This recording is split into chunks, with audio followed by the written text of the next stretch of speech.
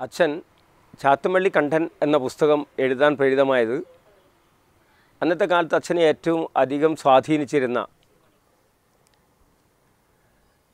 കൃഷ്ണൻ പെരുവണ്ണാനും. അതോടൊപ്പം തന്നെ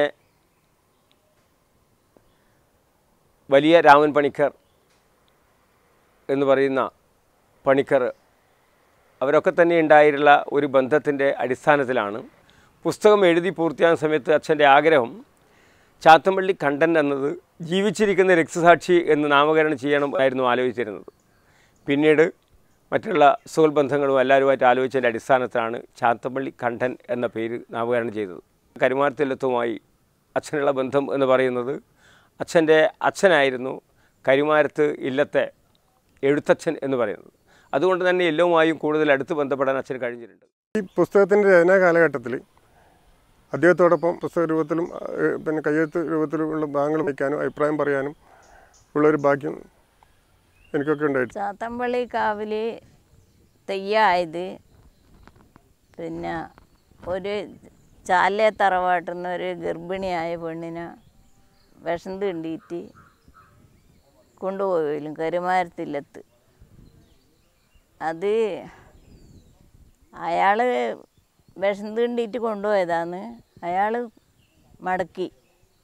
മടക്കിയിട്ട് തെങ്ങും ഒരാൾ പിന്നെ ഏറുന്ന്. അന്നേരം എന്നാ മടക്കി കൊണ്ടുവരുന്നതെന്ന് ചോദിച്ചു. അന്നേരം പറഞ്ഞു ഇങ്ങനെയാണ് സംഭവം. എന്നാ അവിടെ വെള്ളത്തിലിടുകയെന്ന് പറഞ്ഞു. കുമിള വരുമ്പോൾ എടുത്ത് കരക്ക് വെച്ചോന്ന് പറഞ്ഞു. അപ്പോൾ അയാൾ വിഷക്കരുത്തെടുത്തു മേലേന്ന്. മേലേന്ന് വിഷക്കരുത്തെടുത്ത് അന്നേരം ഇയാൾ ഈ പെണ്ണുങ്ങൾ ജീവിച്ചു.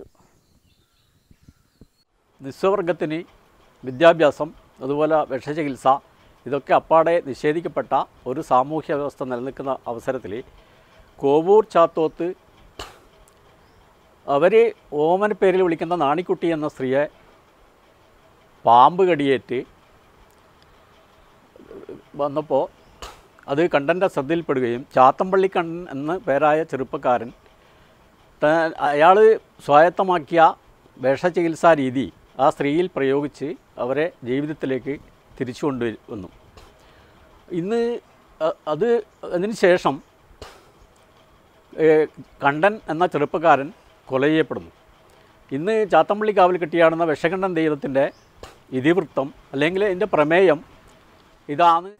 വടക്കേ മലബാറിൽ ആദ്യമായി തുടങ്ങുന്ന ഒരു ഉത്സവമാണ് ചാത്തമ്പള്ളി വിഷ്ണു ക്ഷേത്രത്തിലെ പുത്തരി അടിയന്തരം ലാഭം ഒമ്പത് പത്ത് തീയതികളിൽ തക്കുറിയായി നടക്കുന്ന ഒരു അടിയന്തരമാണ്.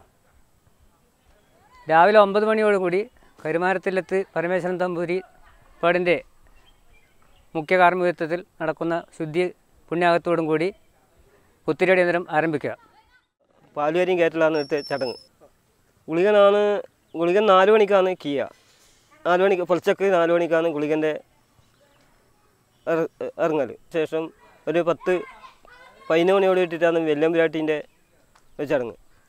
തുലാമാസം പത്താം തീയതി വിഷകണ്ഠൻ തെയ്മ ഇറങ്ങിക്കഴിഞ്ഞാൽ ഇല്ലത്തേക്ക് നമ്പൂതിരിയെ കാണുവാൻ പോവുക എന്നുള്ളൊരു ചടങ്ങുണ്ട്. അതിന്റെ അവിടെയുള്ള വാ വാക്കും മറ്റ് ചടങ്ങുകളും കഴിഞ്ഞാൽ പതിനൊന്ന് മണിയോട് കൂടി തിരിച്ചു വരികയും ചെയ്യുന്നു.